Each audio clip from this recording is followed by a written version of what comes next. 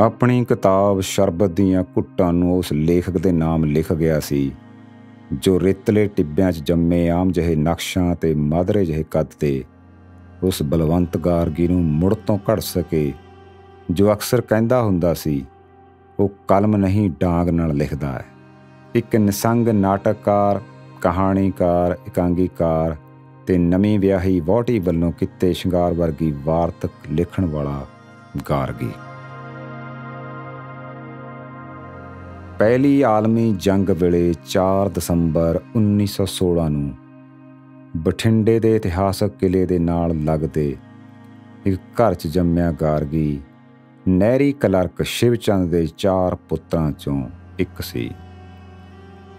ਕੱਕੇ ਰੇਤਿਆਂ 'ਚ ਖੇਡ ਕੇ ਪਲੇ ਗਾਰਗੀ ਦੀ ਮਾਂ ਨੇ।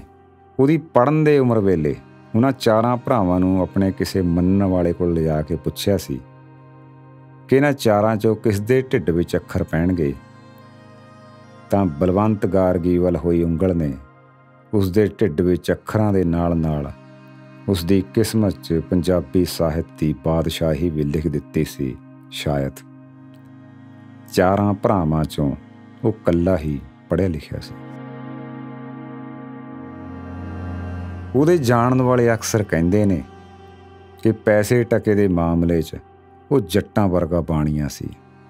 ਇੱਕ ਵਾਰ ਉਸ ਦੇ ਸੱਦੇ ਤੇ ਉਸ ਦਾ ਨਾਟਕ ਵੇਖਣ ਆਏ ਮਿੱਤਰਾਂ ਨੂੰ, ਇਨਾਮ 'ਚ ਮਿਲੀ ਸਾਰੀ ਰਕਮ ਦੇਣ ਦੀ ਪੇਸ਼ਕਸ਼ ਵੀ ਉਹਦੇ ਹੀ ਹਿੱਸੇ ਆਉਂਦੀ ਏ। ਪ੍ਰਿੰਸੀਪਲ ਸਰਬਣ ਸਿੰਘ ਗਾਰਗੀ ਤੇ ਲਿਖੇ ਆਪਣੇ ਇੱਕ ਲੇਖ 'ਚ ਗਾਰਗੀ ਦੇ ਮੁਹਾਂਦਰੇ ਬਾਰੇ ਲਿਖਦੇ ਨੇ ਕਿ ਸਮੱਦਰ ਕੱਦ, ਢਾਲੂ ਬੁੱਲ, ਪੋਪਲਾ ਨੱਕ, ਅੱਧਾ ਗੰਜਾ ਸਿਰ ਕਣਕਵੰਨਾ ਰੰਗ, ਮਿਣੀਆਂ ਤੋਲਮੀਆਂ ਗੱਲਾਂ ਤੇ ਭੜਕੀਲੇ ਰੰਗ ਦੇ ਕੱਪੜੇ ਬਠਿੰਡੇ ਦੇ ਬਾਣੀਏ ਦਾ ਹੂਬੂ ਹੁਲੀਆ ਹੈ ਉਹਦੀ ਮਾਂ ਉਹਨੂੰ ਮੁਹੱਬਤ ਨਾਲ ਬਲੰਤ ਆਖਦੀ ਸੀ ਤੇ ਇਹੋ ਬਲੰਤ ਆਪਣੇ ਬੇਲਿਆਂ 'ਚ ਉਸ ਦੀਆਂ ਮੁਹੱਬਤਾਂ ਦੇ ਕਿੱਸੇ ਤੇ ਕੁੜੀਆਂ ਵੱਲੋਂ ਉਸ ਦੇ ਉੱਪਰ ਕਿੱਤੇ ਤਵਾਰ, ਨੰਗੇ ਸੱਚ ਤੇ ਬੇਬਾਕੀ ਨਾਲ ਲਿਖਣ ਕਰਕੇ ਹਮੇਸ਼ਾ ਚਰਚਾ 'ਚ ਰਹਿੰਦਾ ਸੀ।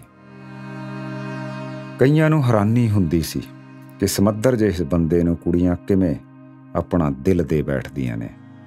ਆਪਣੀ ਸਵੇ ਜੀਵਨੀ ਨੰਗੀ ਧੁੱਪ ਵਿੱਚੋਂ ਲਿਖਦਾ ਏ ਕਿ ਸਿਆਟਲ 'ਚ ਰਹਿੰਦਿਆਂ ਉਸ ਦਾ ਤਿੰਨ ਕੁੜੀਆਂ ਨਾਲ ਰਿਸ਼ਤਾ ਚੱਲ ਰਿਹਾ ਸੀ। ਉਸ ਨੂੰ ਸਮਝ ਨਹੀਂ ਸੀ ਆ ਰਿਹਾ ਕਿ ਉਹ ਕਿਸ ਨੂੰ ਚੁਣੇ ਤੇ ਅਖੀਰ ਉਹਨੇ ਜੀਨੀ ਨੂੰ ਬਠਿੰਡੇ ਦੀ ਨੂੰਹ ਬਣਾ ਕੇ ਸਭ ਨੂੰ ਹੈਰਾਨ ਕਰ ਦਿੱਤਾ। ਉਹ ਆਪਣੀਆਂ ਬਹੁਤੀਆਂ ਲਿਖਤਾਂ ਕਿਸੇ ਨੂੰ ਉਡੀਕਦਿਆਂ ਲਿਖਿਆ ਕਰਦਾ ਸੀ। ਇੱਕ ਸਿਆਣੀ ਜਨਾਨੀ ਵਾਂਗ ਉਹਨੂੰ ਆਪਣੀਆਂ ਗੱਲਾਂ ਤੇ ਲਿਖਤਾਂ ਨੂੰ ਤੜਕਾ ਲਾਉਣ ਦੀ ਬੜੀ ਆਦਤ ਸੀ। ਪ੍ਰਿੰਸੀਪਲ ਸਰਵਣ ਸਿੰਘ ਇਸੇ ਲੇਖ 'ਚ ਲਿਖਦੇ ਨੇ, ਮੈਂ ਗਾਰਗੀ ਨੂੰ ਨੇੜਿਓਂ ਜਾਣਦਾ ਹਾਂ। ਉਸ ਦੀਆਂ ਲਿਖਤਾਂ, ਉਸ ਦੇ ਝੂਠੇ ਵਾਅਦਿਆਂ, ਉਸ ਦੀਆਂ ਕਮਜ਼ੋਰੀਆਂ ਨੂੰ ਖੁਰਦਬੀਨ ਨਾਲ ਤੱਕਿਆ ਏ। ਉਹਦਾ ਪਹਿਲਾ ਇਸ਼ਕ ਸੰਗੀਤ ਸੀ। ਲਿਖਦਾ ਤਾਂ ਉਹ ਯੂੰ ਲੱਗਦਾ ਜਿਵੇਂ ਕੋਈ ਆਦਮੀ ਦੂਜੀ ਥਾਂ ਵਿਆਹ ਗਿਆ ਹੋਵੇ। ਉਹਦੀਆਂ ਗੱਲਾਂ ਤੇ ਲਿਖਤਾਂ 'ਚ ਖਿੱਚੇ, ਟਕੋਰਾਂ ਤੇ ਨਖਰਾਏ ਉਹ ਗਾਰਗੀ ਨੂੰ ਟਕੀਆਂ ਗੱਲਾਂ ਨੂੰ ਨੰਗੀਆਂ ਕਰਨ ਵਾਲਾ ਅਵਲ ਦਰਜੇ ਦਾ ਲੇਖਕ ਮੰਨਦੇ ਨੇ। ਕਾਲਜ ਦੇ ਦਿਨਾਂ ਵਿੱਚ ਉਹ ਕਵਿਤਾਵਾਂ ਲਿਖਿਆ ਕਰਦਾ ਸੀ। ਇਹ ਉਹ ਗੱਲਾਂ ਨੇ ਜੋ ਲੋਕ ਉਸ ਬਾਰੇ ਕਰਿਆ ਕਰਦੇ ਸੀ, ਪਰ ਆਪਣੇ ਬਾਰੇ ਉਹ ਸ਼ਰਬਤ ਦੀਆਂ ਘੁੱਟਾਂ ਜੋ ਲਿਖਦਾ ਏ, ਉਸ ਲਹਿਜੇ ਨਾਲ ਬੇਲੀਆਂ ਦੀਆਂ ਮਹਿਫਲਾਂ ਚਟਕਾਰਿਆਂ ਵਾਲੀਆਂ ਗੱਲਾਂ ਕਰਨ ਵਾਲਾ ਗਾਰਗੀ ਸਟੇਜ ਤੇ ਦੋ ਬੋਲ ਬੋਲਣ ਤੋਂ ਵੀ ਝਿਜਕਦਾ ਸੀ। ਇੱਕ ਵਾਰ ਦਾ ਕਿੱਸਾ ਉਹ ਲਿਖਦਾ ਏ ਕਿ ਉਸ ਦਾ ਨਾਟਕ ਖੇਡਿਆ ਜਾ ਰਿਹਾ ਸੀ। ਨਾਟਕ ਸ਼ੁਰੂ ਹੋਣ 'ਚ 10 ਮਿੰਟ ਦੀ ਦੇਰ ਸੀ। ਪ੍ਰਬੰਧਕਾਂ ਨੇ ਗਾਰਗੀ ਨੂੰ ਆਖਿਆ ਕਿ ਉਹ ਦਰਸ਼ਕਾਂ ਦੇ ਸਾਹਮਣੇ ਨਾਟਕ ਦੇਰ ਨਾਲ ਸ਼ੁਰੂ ਹੋਣ ਦੀ ਗੱਲ ਆਖ ਦੇਵੇ। ਉਹਦੇ ਨਾ ਕਰਨ ਦੇ ਬਾਵਜੂਦ ਵੀ ਉਹਨੂੰ ਜ਼ਬਰਦਸਤੀ ਸਟੇਜ ਤੇ ਧੱਕ ਦਿੱਤਾ ਗਿਆ। ਉਹ ਲਿਖਦਾ ਹੈ ਕਿ ਸਟੇਜ ਤੇ ਉਸ ਦੀਆਂ ਲੱਤਾਂ ਕੰਬਣ ਲੱਗ ਪਈਆਂ। ਬੁੱਲ ਫ਼ਰਕ ਰਹੇ ਸਨ। ਰੰਗ ਪੀਲਾ ਜਰਦ ਹੋ ਗਿਆ। ਅੱਖਾਂ ਅੱਗੇ ਭੰਬੂ ਤਾਰੇ ਦਿਖ ਰਹੇ ਸਨ। ਘਬਰਾਹਟ 'ਚ ਉਸ ਦੀ ਤਕਰੀਰ ਕੁਝ ਇਸ ਤਰ੍ਹਾਂ ਦਾ ਰੂਪ ਧਾਰਨ ਕਰ ਗਈ।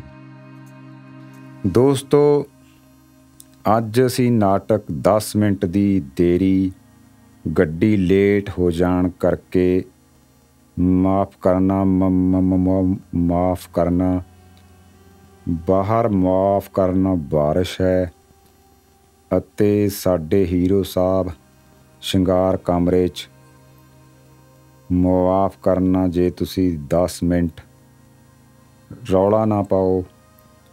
ਮਾਫ ਕਰਨਾ ਮਾਫ ਮੁਆ, ਇਹ ਕਹਿ ਕੇ ਉਸ ਸਟੇਜ ਤੋਂ ਲੜ ਖੜਾਉਂਦਾ ਹੋਇਆ ਚਲਾ ਗਿਆ।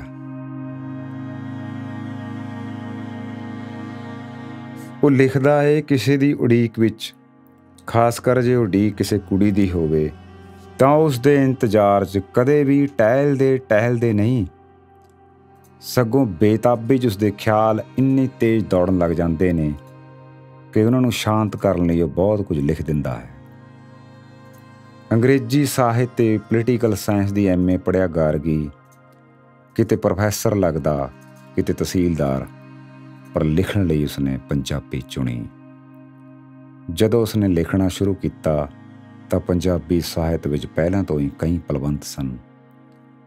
ਇਸ ਲਈ ਗਾਰਗੀ ਨੇ ਆਪਣਾ ਨਾਂ ਉਹਨਾਂ ਨਾਲੋਂ ਵੱਖਰਾ ਰੱਖਣ ਲਈ ਮਿਸਟਰ ਗਾਰਗੀ ਲਿਖਣਾ ਸ਼ੁਰੂ ਕਰ ਦਿੱਤਾ। ਉਹਦੇ ਦੋਸਤਾਂ ਨੂੰ ਉਹਦਾ ਇਹ ਨਾਂ ਪਹਿਲੋਂ ਪਹਿਲ ਬੜਾ ਹੀ ਹਾਸੋਹੀਣਾ ਲੱਗਿਆ। ਉਹ ਮੁਫਤ 'ਚ ਆਪਣੀ ਕਿਤਾਬ ਕਿਸੇ ਨੂੰ ਨਹੀਂ ਸੀ ਦਿੰਦਾ। ਉਸ ਨੂੰ ਲੱਗਦਾ ਸੀ ਕਿ ਮੁਫਤ 'ਚ ਮਿਲੀਆਂ ਕਿਤਾਬਾਂ ਅਤੇ ਦੇਖੇ ਥੀਏਟਰ ਦੀ ਕਿਸੇ ਨੂੰ ਕੋਈ ਕਦਰ ਨਹੀਂ ਹੁੰਦੀ। ਸ਼ੁਰੂਆਤ ਦੇ ਦਿਨਾਂ ਵਿੱਚ ਜਦੋਂ ਉਸਨੇ ਕਹਾਣੀਆਂ ਲਿਖਣੀਆਂ ਸ਼ੁਰੂ ਕੀਤੀਆਂ, ਤਾਂ ਉਸਨੇ ਗੁਰਬਖਸ਼ ਸਿੰਘ ਪ੍ਰੀਤ ਪ੍ਰੀਤੜੀ ਤੋਂ ਇਲਾਵਾ ਕਿਸੇ ਨੂੰ ਨਹੀਂ ਸੀ ਪੜ੍ਹਿਆ। ਉਸਨੇ ਉਸ ਵਕਤ ਪੰਜਾਬੀ ਦੀ ਕੋਈ ਕਿਤਾਬ ਨਹੀਂ ਸੀ ਪੜ੍ਹੀ। ਇਸ ਹਿਸਾਬ ਨਾਲ ਉਹ ਖੁਦ ਨੂੰ ਅਨਪੜ੍ਹ ਲੇਖ ਕਹਿੰਦਾ ਸੀ। ਉਹ ਲਿਖਦਾ ਏ ਕਿ ਬਚਪਨ 'ਚ ਮੈਨੂੰ ਪਿੰਡ ਨਾਲ ਬੜੀ ਨਫ਼ਰਤ ਸੀ। ਮੈਨੂੰ ਲੱਗਦਾ ਸੀ ਕਿ ਸ਼ਹਿਰ ਦੇ ਲੋਕਾਂ ਦੀ ਜ਼ਿੰਦਗੀ 'ਚ ਬੜਾ ਰੋਮਾਂਚ ਹੁੰਦਾ ਹੈ। ਫਿਰ ਜਦੋਂ ਪੈਰਿਸ, ਲੰਡਨ ਨਿਊਯਾਰਕ ਘੁੰਮ ਆਇਆ, ਤਾਂ ਉਹਦਾ ਮਨ ਪਿੰਡ ਜਾਣ ਨੂੰ ਤਰਸਣ ਲੱਗਾ। 7 ਸਾਲ ਦੀ ਉਮਰ ਤੱਕ ਉਹ ਨੰਗੇ ਪੈਰ ਰੇਤੇ ਤੇ ਤੁਰਦਾ ਰਿਹਾ। ਉਹ ਕਹਿੰਦਾ ਏ ਕਿ ਇੰਨੀ ਉਮਰ ਤੱਕ ਉਹਨੂੰ ਬੂਟ ਨਹੀਂ ਸਨ ਜੁੜੇ, ਪਰ ਹੁਣ ਜਦੋਂ ਬੂਟ ਪਾ ਕੇ ਰੱਖਦਾ, ਤਾਂ ਉਹਦਾ ਰੇਤੇ ਤੇ ਨੰਗੇ ਪੈਰ ਤੁਰਨ ਨੂੰ ਜੀ ਕਰਦਾ ਏ। ਕਈ ਵਾਰ ਉਸ ਨੂੰ ਆਪਣੇ ਬਾਰੇ ਕਈ ਵਹਿਮ ਹੋਣ ਲੱਗ ਜਾਂਦੇ। ਕਿਸੇ ਦੀ ਮੌਤ ਤੋਂ ਆਣ ਕੇ ਉਹਨੂੰ ਲੱਗਦਾ ਕਿ ਉਹ ਵੀ ਛੇਤੀ ਹੀ ਮਰ ਜਾਵੇਗਾ। ਕਿਸੇ ਦੀ ਬਿਮਾਰੀ ਬਾਰੇ ਸੁਣ ਕੇ ਉਹ ਖੁਦ ਬਿਮਾਰ ਹੋਣ ਦਾ ਵਹਿਮ ਪਾਲ ਲੈਂਦਾ। ਉਸ ਨੂੰ ਬੁੱਢਾ ਤੇ ਮੋਟਾ ਹੋਣ ਦਾ ਸੁਪਨਾ ਵੀ ਡਰਾ ਦਿੰਦਾ ਸੀ। ਇਸੇ ਲਈ ਸ਼ਾਇਦ ਉਹ ਹਮੇਸ਼ਾ ਜਵਾਨ ਦਿਖਣ ਦੀ ਕੋਸ਼ਿਸ਼ ਗੂੜੇ ਕੱਪੜੇ ਪਾ ਕੇ ਰੱਖਦਾ ਸੀ। ਪ੍ਰਿੰਸੀਪਲ ਸਰਵਣ ਸਿੰਘ ਕਹਿੰਦੇ ਨੇ ਕਿ ਉਹ 60 ਦੀ ਉਮਰ ਵਿੱਚ ਵੀ 45 ਦਾ ਲੱਗਦਾ ਸੀ। ਉਹਦਾ ਘਰ ਵੀ ਅਕਸਰ ਉਹਦੇ ਦੋਸਤਾਂ 'ਚ ਚਰਚਾ ਦਾ ਵਿਸ਼ਾ ਬਣਿਆ ਰਹਿੰਦਾ। ਉਹਦੇ ਬਹੁਤੇ ਦੋਸਤ ਉਸ ਦੀ ਅੰਗਰੇਜ਼ਣ ਵੋਟੀ ਜਿੰਨੀ ਨੂੰ ਵੇਖਣ ਲਈ ਬਹਾਨੇ ਨਾਲ ਉਸ ਦੇ ਘਰ ਚਲੇ ਜਾਂਦੇ ਸਨ। ਬਾਹਰਲੀ ਕਰਾਕਰੀ 'ਚ ਪਰੋਸਿਆ ਜਾਂਦਾ ਖਾਣਾ, ਵਲੈਤੀ ਕਾਰ ਤੇ ਵਲੈਤੀ ਵਹੁਟੀ ਤੇ ਦੋ ਗੁੱਡਿਆਂ ਵਰਗੇ ਨਿਆਣੇ ਦੋਸਤਾਂ 'ਚ ਕਈ ਦਿਨ ਗੱਲਬਾਤ ਦਾ ਵਿਸ਼ਾ ਬਣੇ ਰਹਿੰਦੇ ਸਨ। ਨੰਗੀ ਧੁੱਪ 'ਚ ਜਿੰਨੀ ਦੇ ਕਿਸੇ ਹੋਰ ਨਾਲ ਤੇ ਗਾਰਗੀ ਦੇ ਕਿਸੇ ਹੋਰ ਨਾਲ ਸੰਬੰਧਾਂ ਨੂੰ ਉਸਨੇ ਬਿਨਾਂ ਕਿਸੇ ਝਿਜਕ ਦੇ ਲਿਖਿਆ ਏ। ਜਦੋਂ ਉਹਦੀ ਵੋਟੀ ਜਿੰਨੀ ਉਸ ਨੂੰ ਛੱਡ ਕੇ ਚਲੀ ਗਈ, ਤਾਂ ਉਸਨੇ ਉਸ ਨੂੰ ਵਾਪਸ ਲਿਆਉਣ ਲਈ ਬੜੇ ਤਰਲੇ ਮਾਰੇ, ਪਰ ਮੁੜ ਕਦੇ ਇਸ 'ਚ ਕਾਮਯਾਬ ਨਾ ਹੋ ਸਕਿਆ। ਉਸ ਦੀਆਂ ਲਿਖਤਾਂ, ਖਾਸ ਕਰ ਚਟਕਾਰੇਦਾਰ ਵਾਰਤਕ ਦੇ ਲੱਖਾਂ ਮਰੀਜ਼ ਸਨ।